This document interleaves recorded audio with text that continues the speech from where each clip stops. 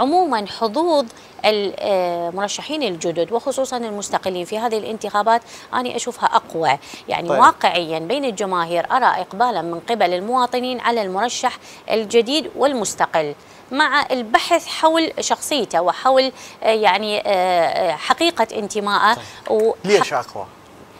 أقوى ليش؟ نعم طب.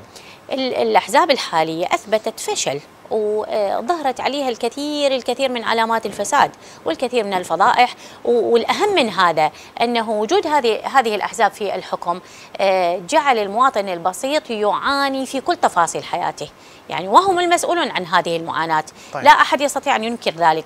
هذا هو الذي جعل المواطن ينفر أصلا من الأحزاب الحاكمة. عموما وصلنا إلى مرحلة المواطن أصبح ينفر حتى من كلمة حزب. يعني حتى اللي يشكل حزب جديد صعب يقنع المواطن إنه هو يختلف عن الأحزاب القديمة. فتشوف المواطن بدأ يدور على الشخصيه المستقلة.